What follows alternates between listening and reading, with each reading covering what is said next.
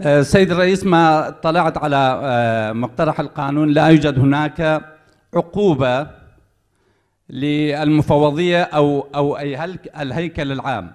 سيد الرئيس ما جرى حول تلاعب ال- الأصوات خاصة في أقليم كردستان وبالأخص محافظة السليمانية هذا التلاعب بالأصوات آه، جرى أمام مسمع ومرأى القائمين على أعمال المفوضية في المحافظة وبالتالي أقترح آه، أن يكون هناك نص أن لا يفل أن لا يفلت هؤلاء من قبضة العدالة وبالتالي لابد أن يحاكموا آه، محاكمة عادلة ويأخذوا جزاءهم.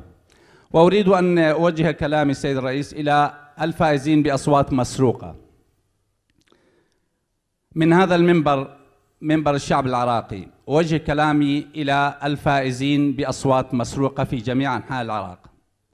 ماذا تقولون لربكم غدا وأنتم فائزون بأصوات ليس أصواتكم؟ إنكم تسيئون إلى سمعتكم وسمعة عائلاتكم وسمعة وتأريخكم السياسي وسمعة العراق.